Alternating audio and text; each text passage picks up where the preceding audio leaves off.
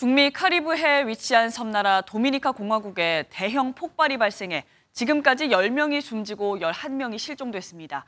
러시아의 다게스탄 공화국에서도 주유소 폭발로 30명 이상이 숨지는 등 세계 각지에서 폭발 사고가 이어졌습니다. 신영빈 기자가 전해드립니다.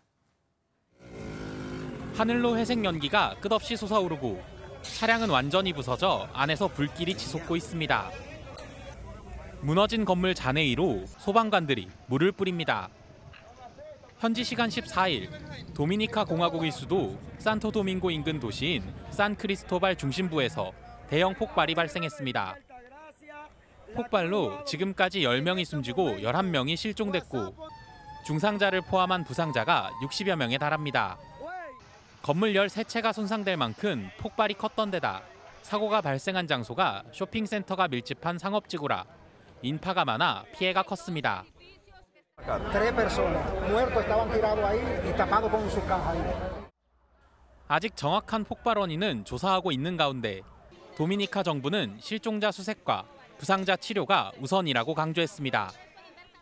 Lo que estamos, lo que estamos es coordinando el- la, la utilización eficiente de los recursos para salvar la mayor cantidad de vidas en esta situación. En eso es que estamos ahora mismo. 한편 러시아 남부 다게스탄 자치공화국의 수도 마하치칼라시 외곽에 있는 주유소에서도 현지 시각 14일 밤 폭발이 발생했습니다. 자동차 정비 공장에서 난 불이 주유소로 옮아붙으며 크게 폭발했다고 추정되는 가운데 최소 30명이 숨지고 100여 명이 다쳤습니다. 러시아 당국은 범죄 혐의점은 없는지 수사에 착수했고 다게스탄 공화국은 15일을 추모의 날로 지정했습니다.